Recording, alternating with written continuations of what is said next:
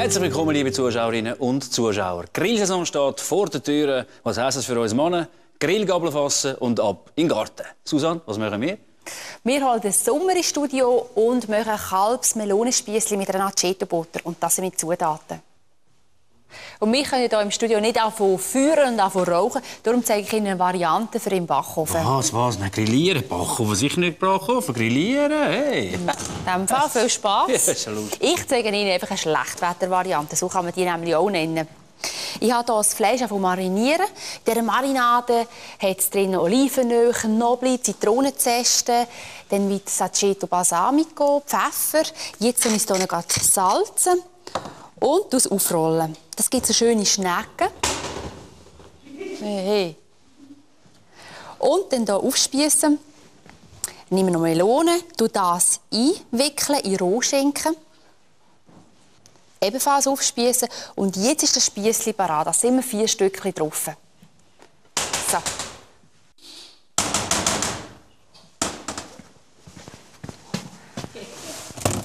Was ist das? Ja, da, schau mal, wie das geht. Wunderbar da mit dem Grill.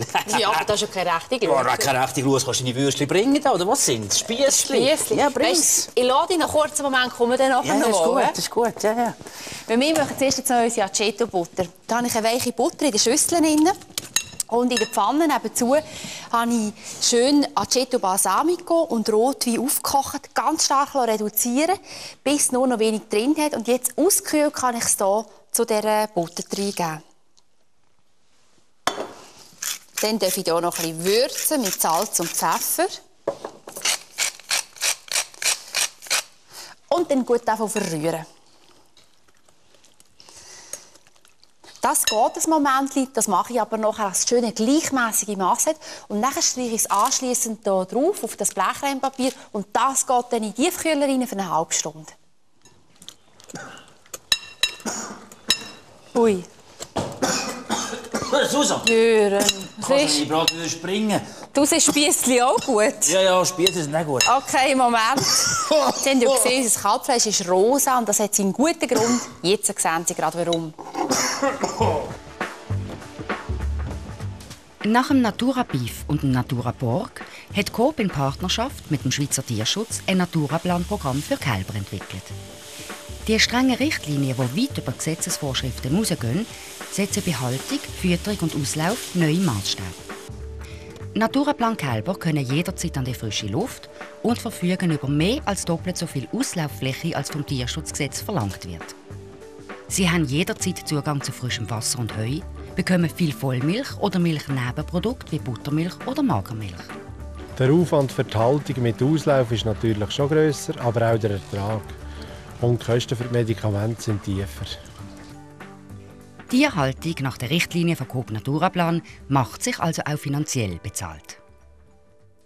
So, wir sind wieder beim Kochen.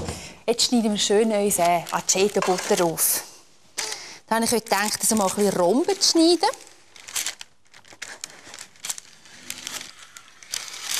Das kann man auch sehr gut mit anderem Kräuterbutter machen oder wenn Sie Führung haben, den wieder eingefrieren.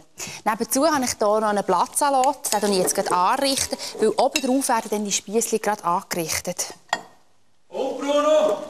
Läuft's mit dem neuen Grill? Hast du ein Problem?